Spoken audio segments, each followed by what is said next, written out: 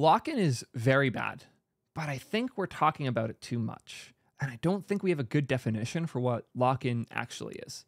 To me, lock-in means work that was done that prevents you from moving somewhere else. And this is why I think lock-in versus built-in is such a massive difference. I'm going to use the example of Next in Vercel because it's the one I'm most familiar with. I will say they're a sponsor of the channel. They have no idea I'm making this video. They are not sponsoring this video. They're probably not even going to endorse most of the things I say. But this isn't about what they think. This is about how we should think when we make these decisions. So the first, an example of something people say is lock-in, are a lot of the new features in Next.js, such as the ability to pick which runtime your applications deploy in. In a Next app running on Vercel, switching between static, Lambda, and Edge is as simple as exporting a different variable in the given route. And you have a bunch of other variables to make it come out as static. In fact, it's actually the default. So what's the problem here? The concern that I hear and see often is that a lot of these new features only work on Vercel. But these features are things that are in Next. And it kind of feels strange that there are features built into Next and functionality that's part of Next.js itself that is only accessible on Vercel. But I'm going to make an argument on why this is okay. The reason isn't because it's good for Next.js to add a bunch of things that are Vercel only. It's because it's good for Vercel to be able to innovate and continue to improve the developer experience of React without introducing significant amounts of technology that we have to work with that are Vercel specific. There is no reason the stuff that Next does wouldn't be deployable on Netlify in the future, on SST in the future, on any of these other solutions. And the code that you're writing isn't Vercel specific, it's certain parts of the functionality in export behaviors that make Vercel the best platform. But this has never been Vercel is the only way to use Next. It's always been Vercel's the best way to use Next. And none of the code I write that's locked into Vercel is even really code.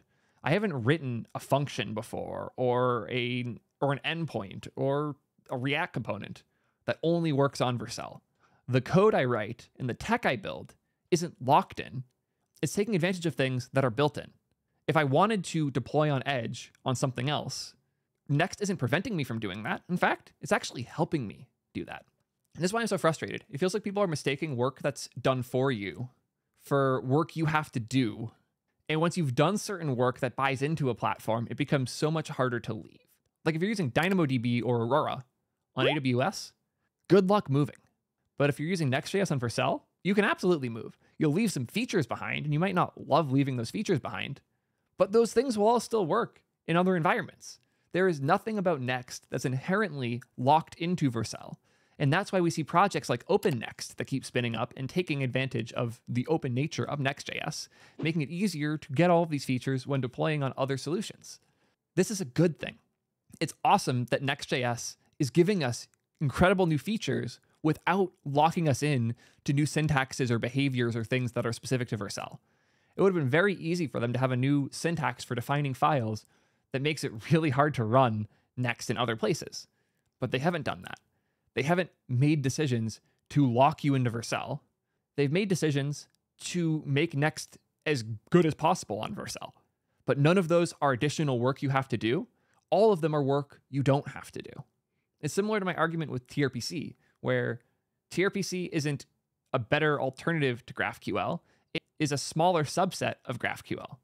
And the things you'd have to do to move from TRPC to GraphQL are just the things you'd have to do to implement GraphQL in the first place in order to take a bunch of TRPC stuff and put it in GraphQL, you'd have to define a resolver, build your schema, and then call all those functions in the right places in that schema. It's the exact same work you'd do if you started with GraphQL in the first place. And if you were to take Next.js or take something else that isn't Next.js and deploy it on other infrastructure the same way Vercel deploys it for you, the work isn't removing things that are part of Next or part of Vercel. The work is adding the things that are built in there.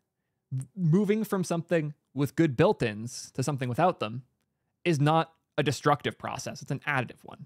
And this is to me where the biggest difference lies. Lock in is when you have to remove things to move, built in is when you have to add things to move.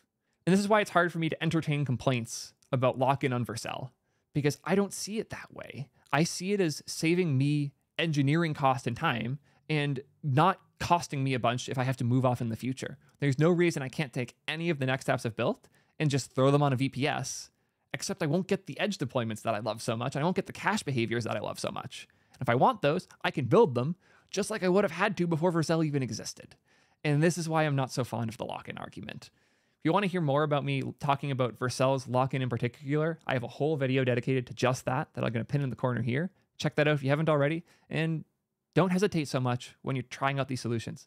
They bring benefits and we like them for a reason. And it's not that hard to move off of these things, especially if you pick standards. Don't use Hasura. Thank you as always. Peace, nerds.